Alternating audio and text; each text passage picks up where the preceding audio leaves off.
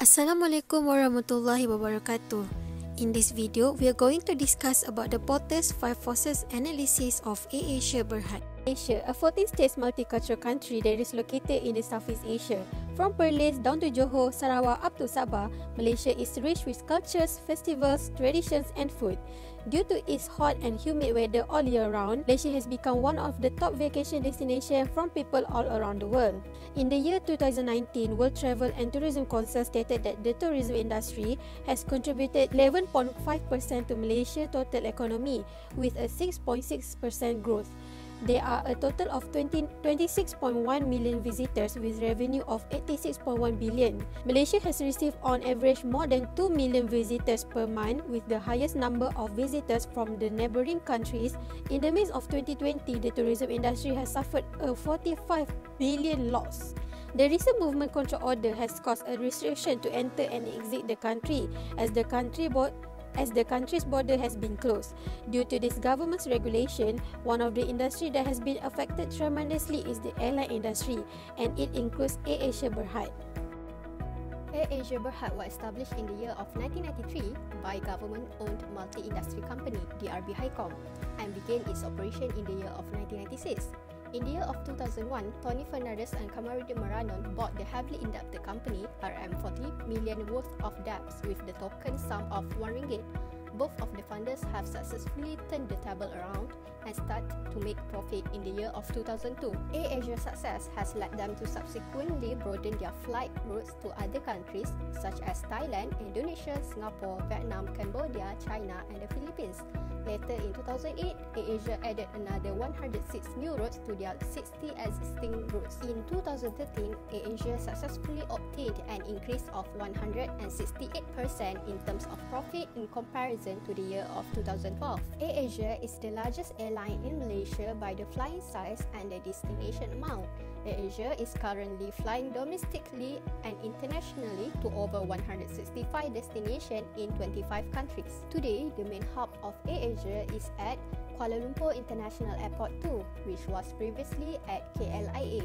And they have their affiliate airlines that operate all around Asia, such as AirAsia Japan, Thai AirAsia, Philippines AirAsia, Indonesia AirAsia, and AirAsia India. In this section, we are going to discuss about AirAsia's Potter's Five Forces analysis. Bargaining power of suppliers. There are a few factors that determine the bargaining power of suppliers such as number of suppliers, dependence of supply from the supplier to the buyer, switching costs, supplier availability for immediate purchase, and the chance of forward integration by the supplier. First, high switching costs. Switching cost refers to financial costs that consumers incur when they switch suppliers. Since the specification of the product, cycle of purchases and equipment of the production correspond to the existing supplier's production and operation, hence changing supplier may likely cost money, time and efforts. Currently, AirAsia is using Airbus aircraft to replace the small Boeing aircrafts. AirAsia is currently among one of the largest Airbus A320 with more than 250 sizes of fleet, including their subsidiaries. Back then, AirAsia lists the Boeing models. If they want to return back to Boeing, they need to cover a lot of costs such as employees training that include the engineers and pilots. Airbus also has a high technology so in order for them to do a maintenance, they have to rely on the Airbus worker. Therefore, the bargaining power of suppliers is high. Next is supplier concentration limited to a few bodies. There are variety of AirAsia supplier that includes foods, fuels, merchandise and aircraft suppliers. The rest of the suppliers rely heavily on market condition. Therefore, they cannot charge too high. For aircraft, they cannot charge too high as there are very limited number of airlines in Malaysia. According to Investopedia, there are two major aircraft manufacturers in the world which are Airbus and Boeing. The industry itself is very standardized, hence the difference that the suppliers could make by offering high technology and eco-friendly amenities. Besides that, airlines usually has a long-term contract with aircraft suppliers as the planes itself are very costly and it will be more beneficial for the company in terms of credit if they do not change the supplier. Today I will be speaking about barrier to entry. Barrier means obstacle of a new company to enter in a new market or new industry. This obst obstacle can be uh, several. It can be uh, the first one is a large amount of startup cost. A new uh, airline company might need a very high capital it can be buying the aircraft, hiring the pilot, steward, office, office equipment, and so on. The second one is independence of the firm. Oligopoly refer to a small number of industry are already in the market and controlling the market. So for a new company to come enter in the market and compete with them will be really difficult. The second one is economic of scales. Economic of scales refer a cost advantage a film will receive after the production has become efficient. Since AirAsia is a low cost company, they can set the price very low. So for a new company to come and compete with AirAsia with the same price will be really difficult. The last one is AirAsia reputation, customer brand loyalty. AirAsia customers are already loyal to them because they are already satisfied with the price that AirAsia is giving because it's a low cost company so they are giving the price at very low price so for a new company with the huge cost come and compete with AirAsia it's a really difficult. So the last one is government regulation. In order to obtain a license in malaysia it's really difficult and it's quite restricted because the government also is trying to protect their national brand which is uh, malaysian airline. My name is uh, Elyas Zubeyr, and I will be talking about the Institute of the Institute. And possibility to switch is one of the three that cause substitute. Uh, the airline industry in Malaysia is very small, uh, but the commercial airlines consist of uh, AirAsia, Malaysia Airline, Firefly, and Malindo, considered as commercial airlines in, in Malaysia. So Firefly and Malindo are considered also the low-cost airline. Hence, the possibility to customers to switch from one airline to another airline is very high. However, it's very important for AirAsia to take care of their services and also the treat they provide in order to keep their customers to stay loyal to AirAsia and also avoid the possibility of switching to another airlines. So the next threat that uh, cause substitute is performance rivalry. Uh, as we know, AirAsia is well known for the efficiency of providing the service uh, where they provide a service of self check-in and as well as uh, in advance of uh, online booking service. That eliminated the hassle of lining up on the airport. Uh, however, recently there was a viral video regards to the downgrade of the service of operation during the COVID-19 especially, uh, which has badly affected the service of the company. Uh, however, the third uh, threat of substitute is uh, comparable prices. It is true that low-cost airlines such as uh, AirAsia, Malindo, and Firefly, their prices are very comparable to each other. But some airlines offer cheaper price to achieve profitable passenger amounts, uh, meaning that they offer affordable price to fill up the seats capacity. So flights prices can, can fluctuate or change from time to time. They also consider the gap between departure date and the booking date. So that means the longer the period between the both dates, the cheaper the flight ticket is going to be. However, when the period between both dates are relatively small, the price will be very high. Therefore, AirAsia needs to carefully plan their fare as the oil prices varies from time to time. This may subsequently affect the price of a flight ticket and consumers will opt to another airlines. So to remain front runner in the marketplace, AirAsia needs to reevaluate their current strategy by making some major changes of their strategies after proper and technical visibility study has been taken place. Uh, so that to avoid the risks as well as making longer contracts with fuel suppliers uh, for more stability.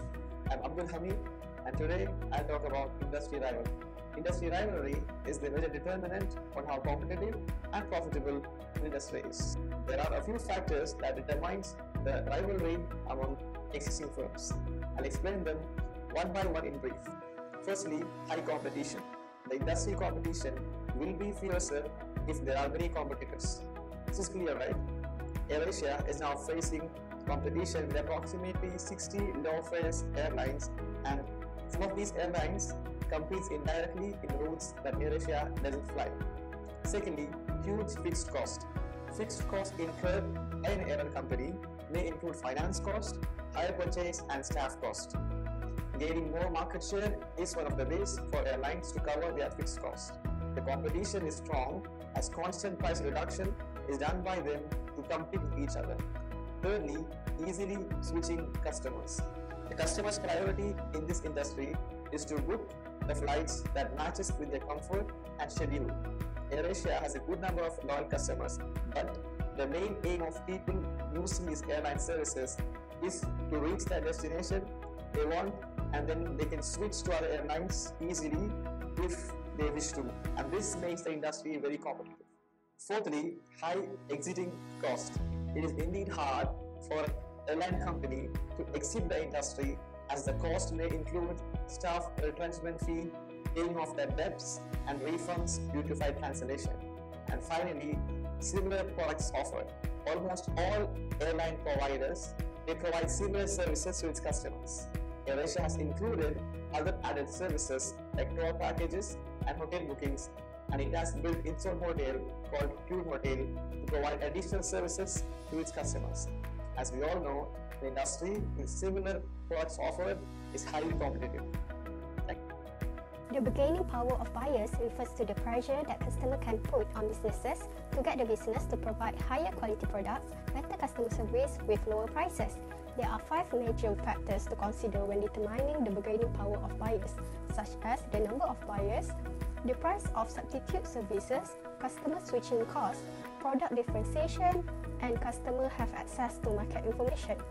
First of all, numbers of buyers. Although there are significant numbers of customers compared to the airlines, however, customers can look at several options when choosing an airline. AirAsia is not the only low-cost airlines that operates in Malaysia and covers the fly within Asia. There are also Firefly, Malindo Air, and Jetstar Asia. In this case, the number of customers is noticeably small relative to airline. Therefore, buyer power is high. Second one is low switching cost. There are many airlines available to choose from with minimal cost of cost and effort required. Therefore, it is beyond the doubt that the fact that bargaining power of customers in the airline services is high because of the high price sensitivity.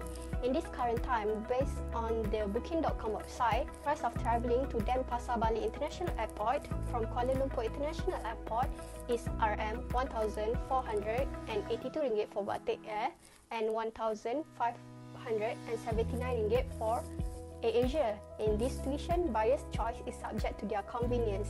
For example, buyers that are conscious about spending will definitely go for Batik Air. The third one is customer have access to market information. The emergence and the popularity of the third-party trip booking website and smartphone apps increase the market information for the buyers. They may access to the current information which are available day and night in such apps such as Klook.com and also Booking.com that compare rates across the carriers and choose the least expensive one. Hence, this has reduced the power of negotiation for airlines resulting to the strong customers' bargaining power.